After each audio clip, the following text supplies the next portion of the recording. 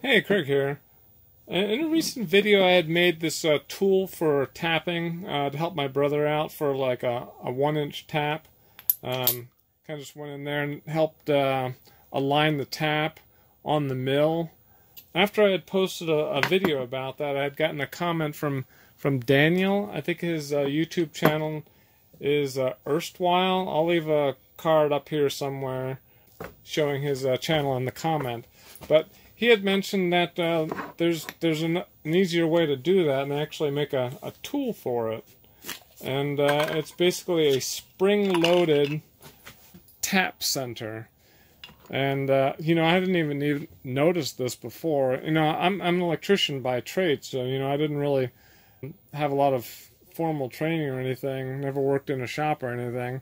Um, but I guess, see, there's, uh, there's actually a hole in the back of the tap. And I guess that's for this spring-loaded tool. It just goes in right there. Uh, you know, normally if you have like a small tap, they have this kind of uh, tap holder here. And there's actually a, a, piece that goes on. I'll demonstrate this later when I get into uh, showing this thing off.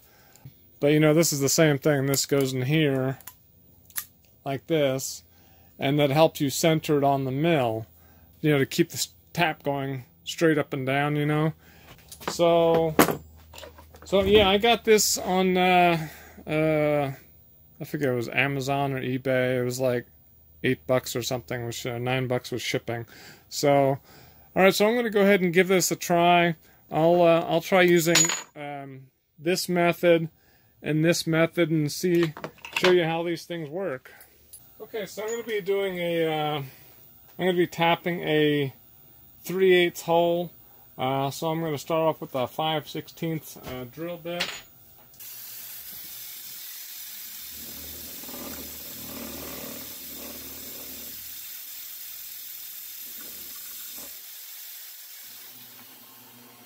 Okay, so now on the first one I'm going to use uh, this tool here.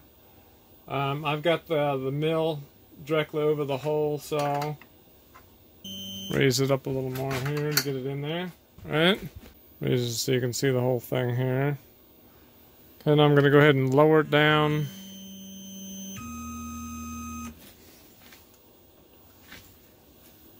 Guiding the tip of the tap into the hole. I'm just going to go ahead and turn this, lower a little more.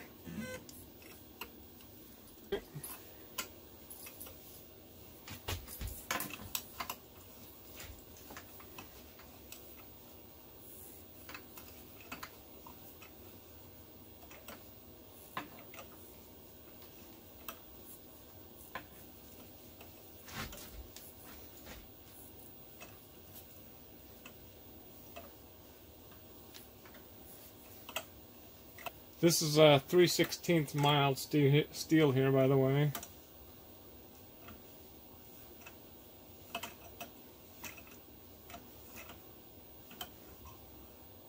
Alright, that should be good there.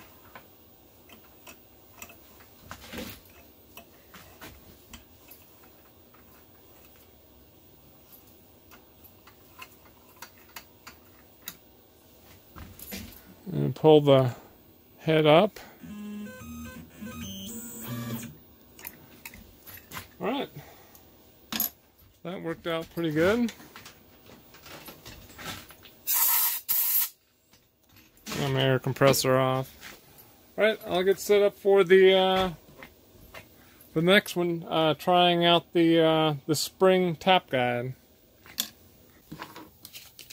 Okay, so to use this spring-loaded uh, centering, uh, tap centering device here, just going to go ahead and stick it in. The one I got is a uh, half inch, so I'm just going to go ahead and stick it in a half inch end mill holder.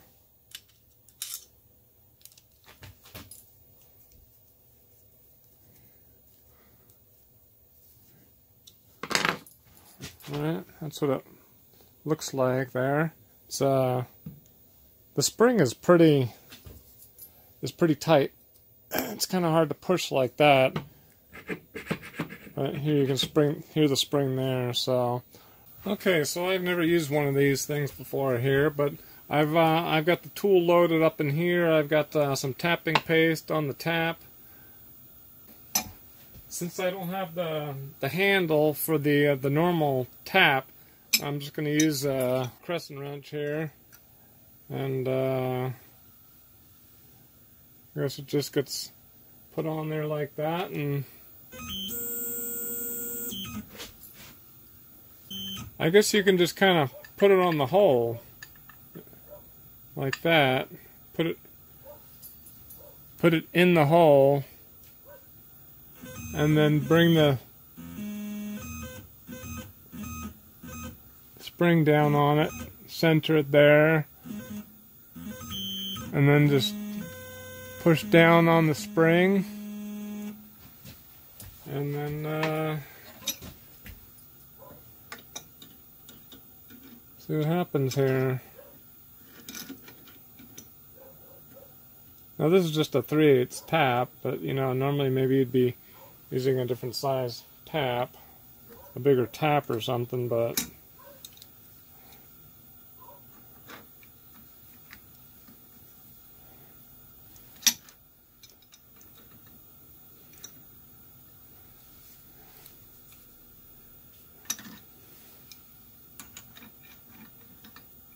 This is a real cheap crescent wrench here. If I had a shorter one, I can go all the way around, but it's the baffle, so...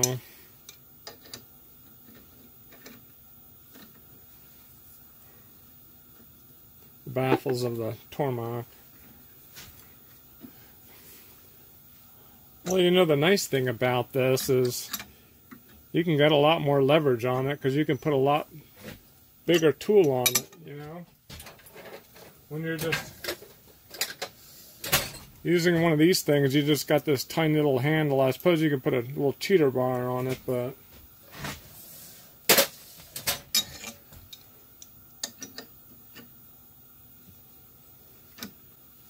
My, uh, my spring is already unsprung here, but, uh, I'm already going straight, so I guess I don't really need to worry about that.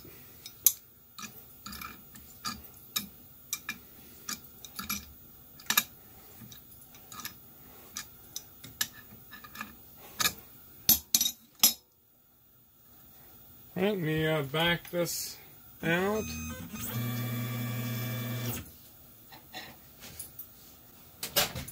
Well, I do have a tiny little wrench that kind of fits it.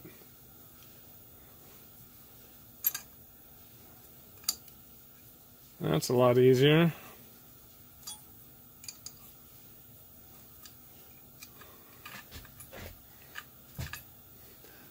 Okay, cool. Alright, well that worked out. I guess with the proper tool for turning the tap, it'd certainly be a lot easier. Alright, well that worked out pretty good. Uh, thank you, Daniel, for your wisdom. Uh, if anybody else has any uh, other ideas of different ways you can uh, tap manually on the mill, you know, where the mill aligns it, um, feel free to leave a, a, comment down below. And uh, I guess that's it. Alright, well, if you like this video, I'd uh, appreciate the thumbs up. Uh, if you have any comments or suggestions, feel free to leave them down below. Uh, if you'd like to subscribe, there should be a subscribe button over here. Um, also leave a link to um, Daniel's channel over here. I think he's working on a, a Bridgeport and uh, thanks for watching.